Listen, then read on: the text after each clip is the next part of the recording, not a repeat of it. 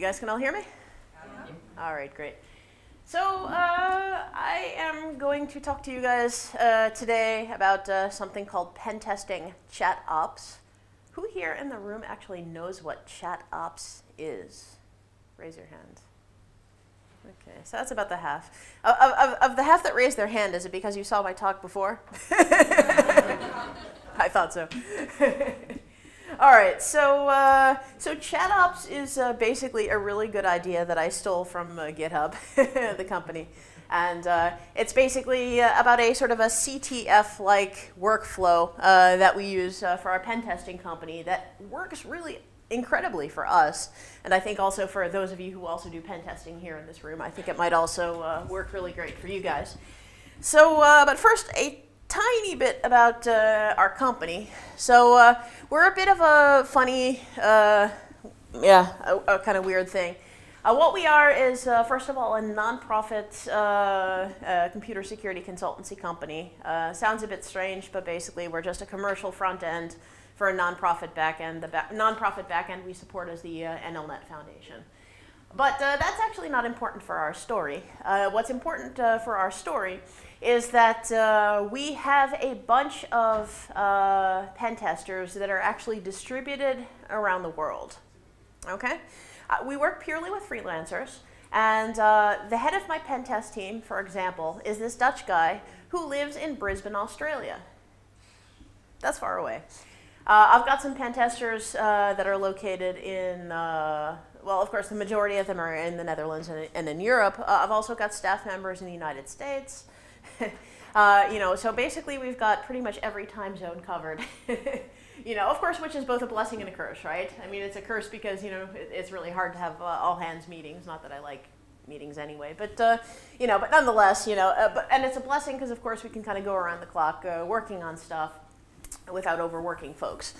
So, uh, anyway, but what, oops. So, the way that we actually work uh, in terms of uh, chat ops is uh, you can see right here, basically there is a, uh, is a chat room. Um, you can see right here uh, a list of a number of the people uh, that are, are you know, our staff members, sometimes also customers. And basically, we're using this tool called Rocket Chat. Okay? Raise your hand if you've ever used Slack. Okay, that's half the people here. So basically, Rocket Chat is an open source, self-hosted version of Slack.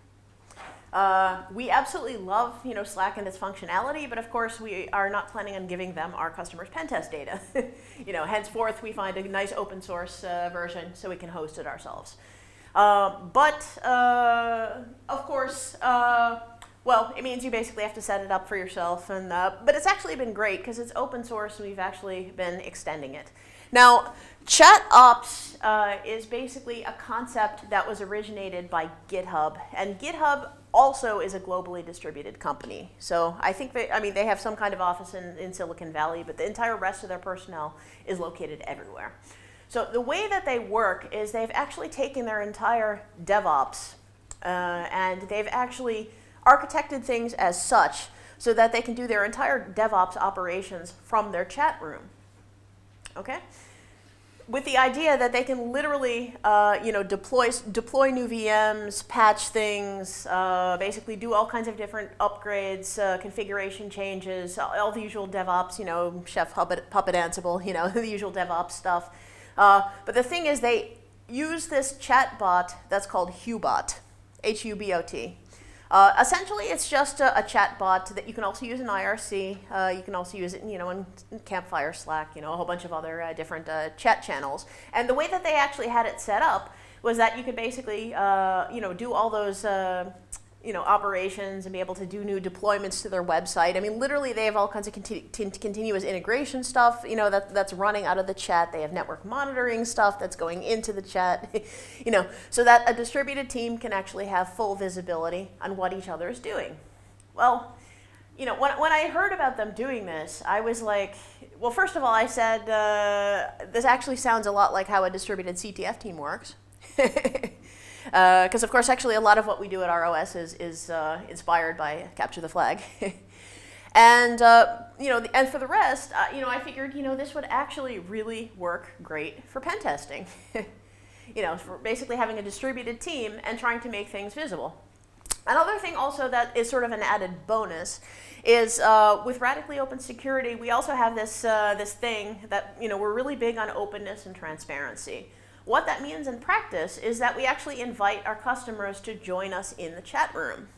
Now, the really nice thing about ChatOps is it means that anytime we're working, as long as we're actually launching our pen testing and launching our reporting and launching all of our other thing, parts of our operations, it means that if the customer there is there in the chat room, they can actually observe everything we're doing, which actually has led to a really good formula that customers are extremely happy with, you know, and, and that actually really having this kind of a chat integrated environment really enables, which is actually much, much harder to do if you're just sort of working in the office, you know, or using other kinds of, uh, other kinds of tools. So I can give you guys some examples, basically, uh, of how this works. And first you can see right now that uh, with Hubot, so we basically renamed this uh, ROSBot, of course, you know, and we have basically installed a whole bunch of different uh, tools, uh, all kinds of different things that you can use from the chat. So it ranges from totally useful, I mean things like uh, you know being able to uh, do uh, various kinds of uh, you know lookups of different kinds, Whoises, and you know these kinds of things, to you know you know to, to being able to launch scans, you know for different kinds of pen testing to you know the completely stupid and inane. Like I mean, you can't have chat without like cat photos or XKCD. you know, so we've actually got Hubot scripts uh, for all of this. So uh, we've also got uh, also sort of this uh, spot shell command uh, that we're using for input sanitization because of course, yes, like the day I installed this, the first thing my guys tried to do was hack it. And then the second thing they did was uh, ROSBot image me goatse, at which point I was like, no. yeah. No shock porn in the chat channel, please. but um, anyway, so, uh, but, but what that means is we can actually, uh, the, the way that it works is you use uh, CoffeeScript uh, to basically write uh, the integrations between whatever script you would want on the back end and then uh, the chatbot, you know, the actual interface in, in the chat. And then essentially you can write the, your scripts on the back end in whatever language you're comfortable with. so, uh, so, you know, a really simple example of something that we've implemented is Nmap. You know, uh, and, and, it's basically nothing more than just being able to feed a certain number of parameters uh, to um, Nmap that are uh, supplied on the command line. Uh, of course, obviously, we do need to do input sanitization and do other forms of access control because if, uh, especially if customers are in the channels with us, we need to be a little bit careful about, uh, you know, who can actually operate which, you know, commands within our chat environment. So uh, yes, we thought about that as well. so, but uh, but there's a number of really uh, weird and wonderful things that we can do from the chat. Now. Anyone who's a pen tester knows that the most annoying part of pen testing is reporting and documentation, you know? I mean, uh, you know, it's really time consuming, you know, I mean, we just want to hack the things, you know? And then afterwards we're like, do we really have to write it up? yes, you do. so, uh, you know, but uh, of course, us, like any other uh, pen testing company, we, of course, build our, like a suite to automate this because uh, you know, I mean, I know that there's still companies out there that are you know cutting and pasting things into Word documents, but uh, I could, but I can tell you, yeah, but I can tell you from like you know the first couple of months of uh, my company's existence before we had automation that uh, you know that cutting and pasting stuff into OpenOffice is not what you want to do. so, uh, so what we did is we wrote this XML suite. So what it is is there's XML templates and uh, the pen testers can basically just fill in the templates. And they actually really like this because uh, you know, it provides actually a structure for the pen testing and sort of reminds them of what kind of information they have to write down as they're actually doing the testing. And then uh, also another nice thing about with XML is if we have, for example, common uh, sort of what we call snippets. So for example, commonly occurring uh, things like cross-site scripting. You always need the same description of like, okay, this is what cross-site scripting is, and this is how you remediate it, and you know, obviously we don't want to re reinvent the wheel, so we have a little snippet library, uh, uh, which uh, actually pretty soon we should be open sourcing that. Uh, we're still kind of collecting all the snippets uh, together right now. But uh, basically, just so we can also kind of you know toss that uh, you know into our XML in the right place, and so that if you just you know compile, that it just sort of comes out correctly. So another thing about radically open security, by the way, is that we're really into open source. We love open source. And what that means is every tool and framework that we build, once it's ready for the light of day, we open source it. You know, I mean, so we basically just try to optimize for the amount of stuff we can like give away, just because we can. So, uh, so our XML uh, pen testing uh, suite is actually in, Git, in GitHub. So if you guys happen to have a pen testing company and you guys are still working with Microsoft Word or whatnot, feel free uh, to steal our system and use it. Uh, it's actually extremely useful. If you guys also uh, want to do automated scanning within a big, huge mega corporation, you guys also need some kind of uh, you know system. You can just basically steal our stuff, put in your own corporate logo, and it's actually really pretty easy to use. So uh, this is not yet official, by the way, but uh, we're actually having uh, discussions right now with OWASP about potentially trying to also make it an OWASP project. so uh, this hopefully will be happening, I think, in the next, uh, you know, hopefully a couple of weeks. Uh, so, but that would actually be cool and, and further help to spread and canonize, you know, the, you know, the fact that this is sort of a free tool automation, you know, for everybody who does web pen testing and other things. So uh, there's all kinds of documentation uh, that we've written that's actually quite uh, quite decent, uh, and you can sort of see right now it, it explains how uh, the reports are structured. Um, you can actually see right now an example of how we would be writing up the findings. So we've got uh, things like section section ID, you know, different cross references. You can see up here sort of like title, you know, paragraphs, images, um, you know, um, well, anyways, stuff. So XML, basically descriptions of of what we're doing. And then uh, when we compile it, it uh, turns into something that looks like this. Yeah. so uh, that looks pretty good. so, um, so what we do is we can actually, we've set things up so that you can actually compile this from our chat environment. So the way that it works is, and now we're going back to, uh, to Rocket Chat, is you can see now we've got this uh, ROSBot shell command, pdf build, uh, customer name blurred out, of course, you know, uh, pen test. And then at that point, what, uh, what, what's happening is it says ROSBot. So first, it's actually doing a git clone. I should also mention, by the way, that we use GitLab as our primary uh, means of uh, version control and, and, sort of collaborative editing within our OS. Um, we use GitLab for our private stuff. We use GitHub for our public stuff obviously. and we try, of course, to, to move stuff over from GitLab to GitHub as, as, as much as, as possible. So, but, uh, but what you can actually see is happening is that when you type in that command, the first thing that it's doing is it's uh, doing a clone from, git clone from the GitLab repo. Then what it's doing is it's actually calling the tool chain. So we're basically using uh, sort of XML, XSLT, uh, FOP, you know, that, that whole uh, system to basically generate our PDF. So you can see that it's uh, uh, compiling the PDF, and then what is actually happening is it's actually committing the uh, PDF that was created back into the repo. Okay? And then what it's doing is it's spitting out a link to the PDF. So basically, uh, it, what it means is that uh, technical writers and pen testers don't even necessarily have to uh, install the toolchain on their local machines. A lot of them do. Uh, but nonetheless, uh, what it means is that uh, they can just issue a command in the chat, it compiles, it spits back a PDF, they click on it, they see it. Easy.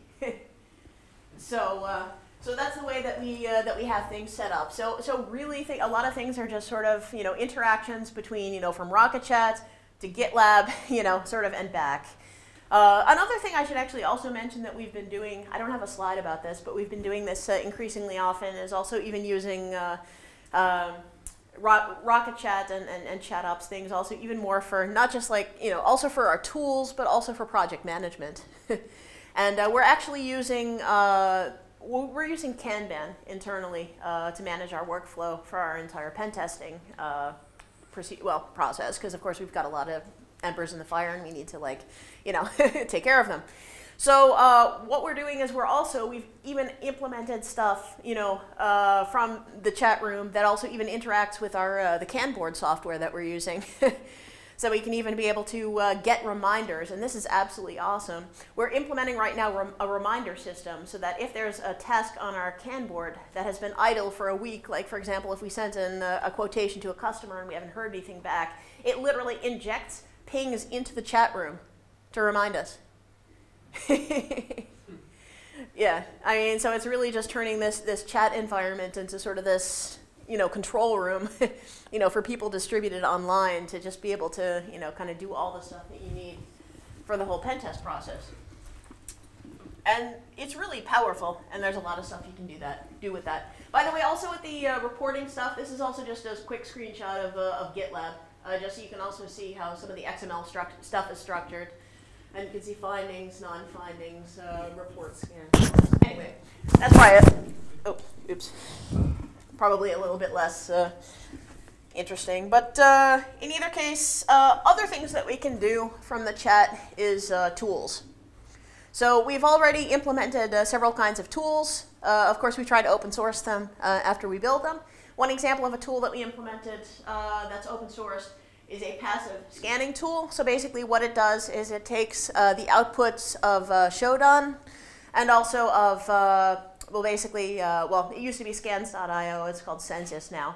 And what you can actually do is then basically put in uh, an IP address and then basically it can spit out the information that it gets from the passive databases, you know, a sort of passive recon wise to, uh, you know, be able to, well, tell, tell you, you know, before you even start doing active attacks, you know, what some of the problems might be. Because this is, of course, useful stuff to report to customers. You know, the great thing about this is if you can integrate this stuff with your chat environment, you can launch it from the chat, you know, it can run the scan, it can check the results into GitLab, you know, and then we're also working right now on basically some more basic scanning uh, uh, stuff. We actually just, uh, well, made a partnership with sort of a large IT insourcing company who also sort of wants open source basic scanning. And we're actually trying to set up a, a bunch of things right now with a whole suite of the typical compliance scanning kinds of tools like Nmap, uh, Nikto, uh, you know, just, uh, well, uh, you know, uh, checking SSL certificates, you know, these kinds of things. Uh, so that we can basically do the scan, check it into GitLab, try and like script, you know, write, write some scripts to actually extract the stuff out that we need, and then put it in the XML template so that when we compile, it can sort of put the right thing into the right place. So this is sort of the, the automation that we're busy, busy working on. It's a work in progress, of course, but uh, this is basically the direction that all of our stuff is, uh, is going. And of course, once it's built, uh, we're, gonna, we're planning on open sourcing it. Um, another really novel thing that you can do with uh, this kind of a uh, pen test chat ops environment is you can do something called red-blue pen testing. So what this is, is I took uh, with one of our customers a development team for uh, basically a software development team for a product, okay? And the software development team was a number of coders, a number of sysadmins, some DevOps people. And what I did is I split the team in half and I said, okay, half of you guys are the red team, half of you guys are the blue team. And each team is basically guided by uh, one of our professional pen testers. And we actually had the customer do their own pen test. So we basically turned it into kind of like a CTF competition. We gamified it, and we actually wrote our own scoreboard uh, that we used, of course, Hubot for, you know, the chatbot for, so that if, for example, somebody scored, you can see right now, uh, like for example here, a point for blue for uh, finding missing input validation, you know, and uh, so, and then what we had this thing is you could go, good job, blue, and then you can see now it says incremented blue 24 points. And then it you know shows you this like freaking awesome, you know, rainbow unicorn. Uh, you know, and, and we basically just had a pool of images, you know, from the interwebs of, of silly stuff that we could spit back at them, you know, kind of to gamify it, you know, for when they actually did something. And we basically, it was a one week pen test uh, that we did with the customer. Uh, we had 10, 10, of their folks, which of course is a huge time investment for them. But you have to remember this is a CTF exercise for them actually. you know, so it's, it's kind of like a, a, secure coding training, you know, in a way. And uh, at the end of the week, uh, they had found 40 findings in their own product. They had found a full attack chain through their own product. you know, and the best part about it was they did it themselves.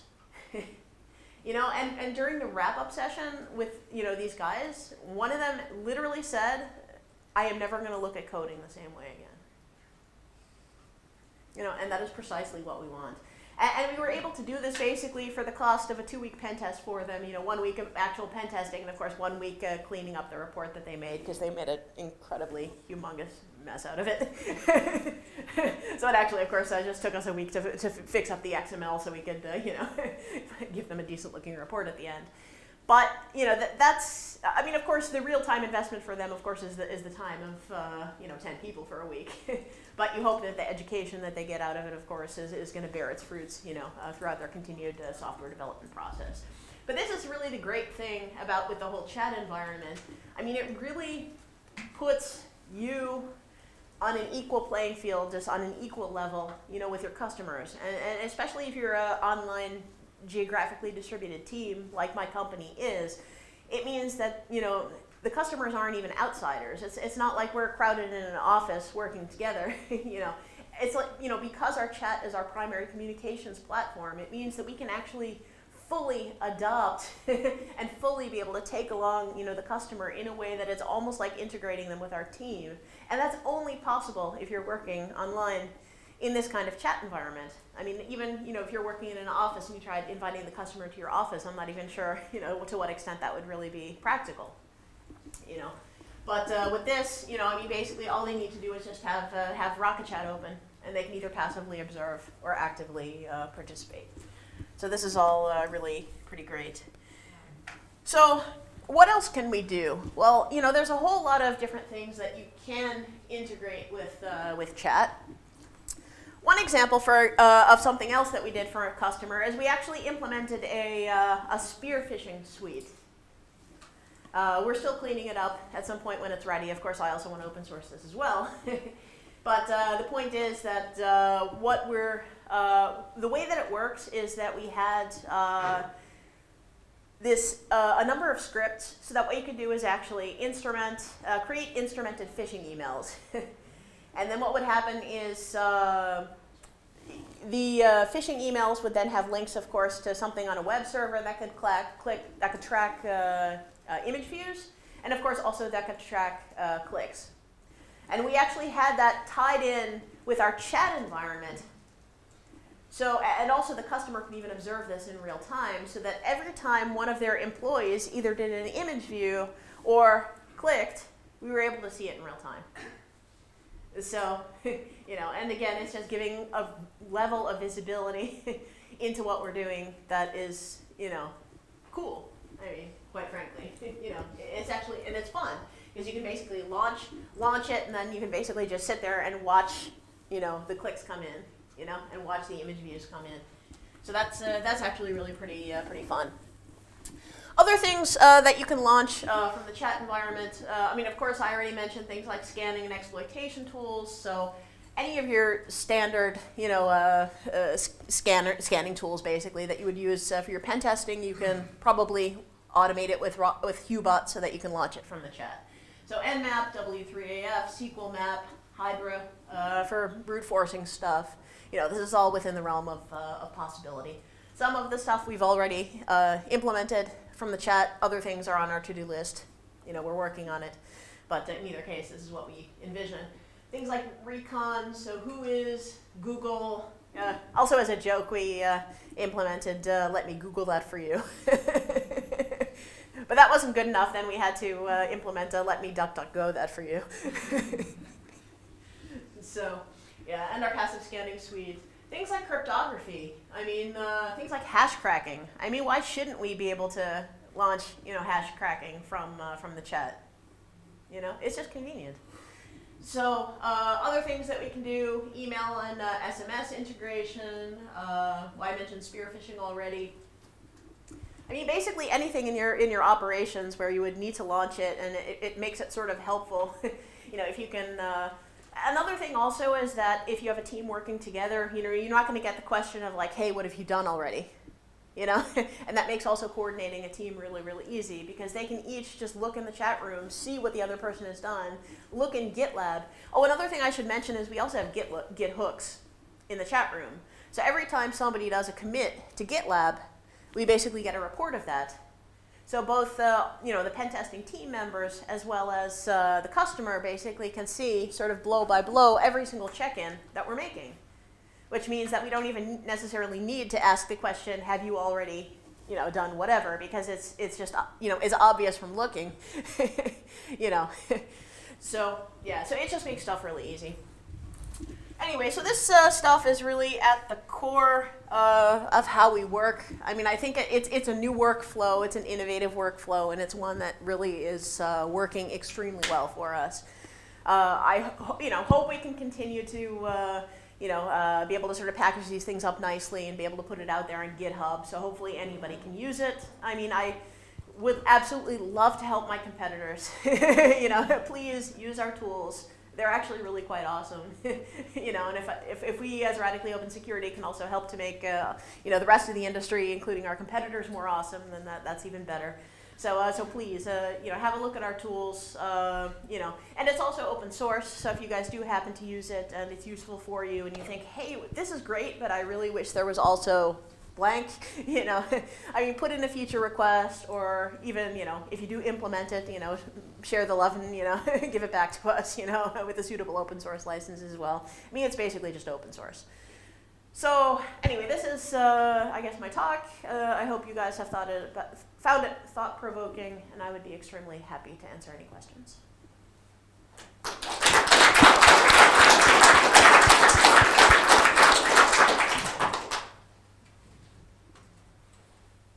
Are there any questions? Nope. Yes? Uh, how do we deploy it? So it's like almost like a single point of everything. So you have yeah. Uh, so how do you deploy it? Uh, well, right now, I mean, uh, yeah, I mean, well, we we just installed it uh, basically on a VM. So I mean, it's not that we've uh, set up things uh, DevOps wise yet uh, to kind of package it up so you can just. at some point, I would really like for us to use some kind of you know, Docker, Chef, Ansible, you know, you know, uh, thing so that we can basically make it easier for other people to set up. Uh, of course, right now, I mean, we're still sort of innovating it and figuring it out. So, I mean, right now, we've still been installing everything manually. So. I'm also building it and trying to automate it, so maybe uh, we can share on that. Okay, sure. Yeah, yeah. Contact me uh, after, please. yeah. So. No, but if anybody else is actually interested in trying out this stuff and, uh, and working with it, I mean, I would, I would certainly be very happy, uh, you know, to, to work with you guys and think along with you guys, because, you know, I mean, ultimately it's better for us too. I mean, the more brains you have, you know, the cooler stuff winds up being. So, are there any more questions? Nope.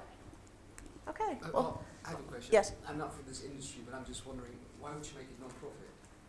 Why would I make it nonprofit? Um, I didn't mention that because I was trying not to make this a you know a sales pitch, but uh, you know, in a in, in, a nutshell, the reason why I made ROS nonprofit is because uh, the market leaders, at least in the Netherlands, for the security industry, are quite commercial, and not everybody in the hacker community likes that.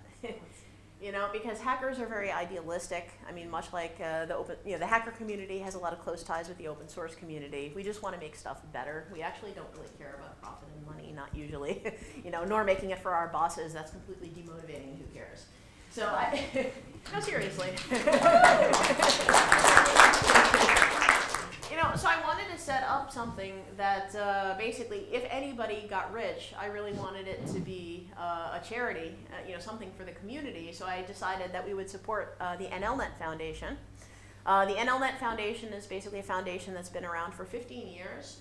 Uh, they've supported projects like Tor and EFF and GNU and Jitsi and academic research and you know all the kinds of stuff that like makes the internet better. you know, and we set ourselves up as this thing called a fiscal fundraising in institution in Dutch, a fiscal fondswervende instelling, which means that contractually we have to give 90% of our profits to a foundation, and NLNet is that foundation. It's actually a construction we stole from the churches. no, seriously. because churches sometimes want to do commercial spin-offs, you know, and then, and then they want to get the money tax-free back to the church again. Uh, a famous example of this in the Netherlands is a language institute called uh, Regina Coeli. Uh, and there's these uh, nuns that are called the Nonne van Vught. this is actually this is actually the language institute where Queen Maxima uh, learned uh, and, and, very much improved her Dutch. You know, this is this is actually an example of a, of a fiscal fundraising institution in the Netherlands. So we basically stole that idea, but we just decided to make NLNet our church. so that, that's uh, so that's basically how we're how we're set up, and um, you know, and as as for the rest of it, openness, transparency, open source. I mean, this was definitely just like an attempt. ROS is an attempt to reclaim, you know, uh, security consultancy for you know the purposes of really making the world better through security because security is for the common good. It should be for the common good, you know. And if we can optimize for helping customers you know, uh, our employees and society instead of optimizing for uh, shareholders, investors, and uh, founders. you know, I, I, mean, ultimately, you know, we hope to create a vehicle that will be better for society in the end. Also, on a meta level, the whole concept of a not-for-profit company, we figure if we can make this work in the computer security space, who knows, maybe in like four or five years, we might be able to also teach workshops you know, explaining how other people can do fiscal fundraising institutions in other fields like healthcare, agriculture. you know, so if we can just demonstrate this as being a new kind of social enterprise, you know, maybe it'll be a cool idea that other people can run with. Surprisingly enough, actually, as strange as this all sounds, because this is all really strange and weird and different, it, this has actually really been taking off. ROS is now two years old, but we already have 40 freelancers working together and we've already had more than 30 customers, that, a third of which are repeat customers, you know, and, and at least uh, probably, you know, two thirds of which are sort of the usual suspects in terms of like Dutch uh, corporate life, uh, government, you know, you know, and the other third is sort of like little not-for-profit hippie organizations that uh, we're willing to help for cost price. so, uh, yeah. So, so that's kind of how it's uh, gone. You know, we're hoping to shake up the industry, you know, with the way that we're working because what we hope is that when the customer can look over our shoulder, we hope that they're going to get so spoiled, you know, by having that kind of view, that kind of visibility, that amount of knowledge transfer into their organizations that I am hoping that they are going to go they're going to go back to our competitors and say, "Hey, Radically Open Security is offering this peek over our shoulder service. Can you guys do that too?" Yeah, and then they're of course going to have a choice. You know, they can offer it or their customers might walk away. you know? And in such a way, we're hoping to make the entire industry more open and transparent. you know, we're trying to offer that alternative and raise the bar for everyone. You know, and I, I hope that we can do it. So um, anyway, that's, that's enough about uh, the company. Anyway, thank you so much uh, for your time. And uh, if anybody has any more questions for me, I'd be happy to take them uh, afterwards. So thank you.